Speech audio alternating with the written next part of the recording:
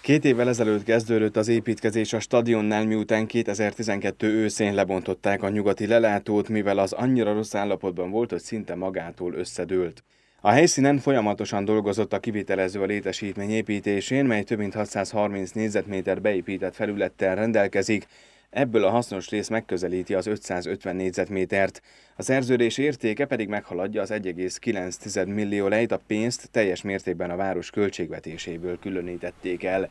Jelenleg az épületet rendezik be, gyakorlatilag csak ez a mozzanat maradt hátra, az ingatlan körüli tereprendezés is megtörtént. A létesítményre nagyon várnak az udvarhelyi birkózók, hisz megfelelő terem hiányában Korondon, Zetelakán vagy éppen a Szeptimia Szabadidő Központban edztek az új sportteremben végre otthonra találhatnak.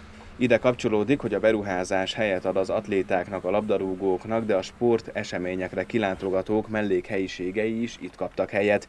Az épületben számos termet alakítottak ki, több öltöző, több mosdó is van, ugyanakkor az elképzelés szerint egy a sportolók pihenését, lazításán segítő szaunát is beszerelnek. A mutató sportterem avatójára október 10-én szombaton kerül sor, az ünnepi pillanatra a Román és a Magyar Birkózó Szövetség képviselete is ellátogat Székelyudvarhelyre.